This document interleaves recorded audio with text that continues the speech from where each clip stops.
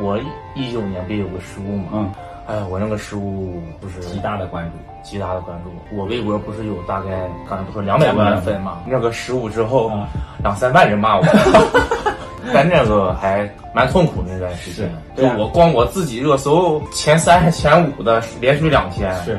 然后从国外回来之后，不敢不敢出门了，就是就把自己憋在家里，也不敢出，就是，真是心里是非常压抑的，在一个房间里就哎就非常难难受。这个食物会影响你的生活，你的事业，而且你要调整不好，会造成很大的一些心理阴影。对，我这年变得也蛮蛮蛮多的。